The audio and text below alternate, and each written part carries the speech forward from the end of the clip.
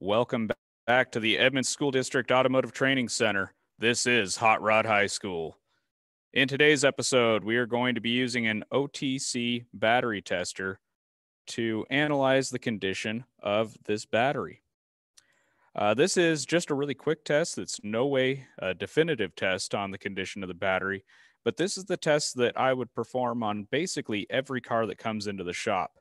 So every car that comes into the shop, whether it's for an oil change or a tire repair um, or an alignment or anything, we always do this multi-point vehicle inspection on those uh, uh, vehicles. We do that for free as a check for the customer, just to tell them what condition their vehicle is in and what may have changed since the last time they were in the shop.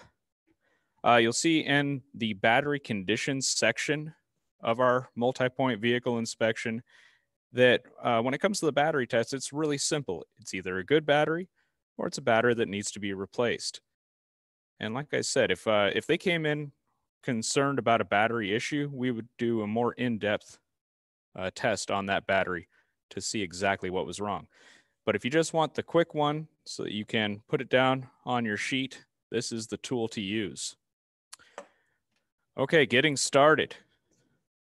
In order to use this tool, we are going to take and hook it up with the black wire going to the battery post that has the little negative symbol on it.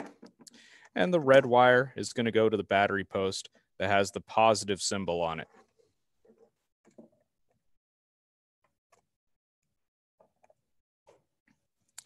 Once that's hooked up, the battery tester is going to start displaying and it's just going to show us the cold cranking amp rating on the last battery that we tested.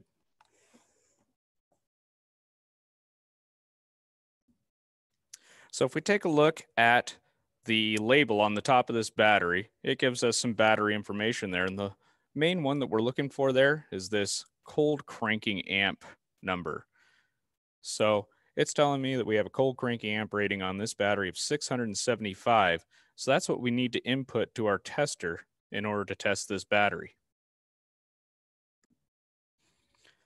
In order to input our cold cranking amp rating into the tester, we already have a cold cranking amp rating displayed. This one's 615.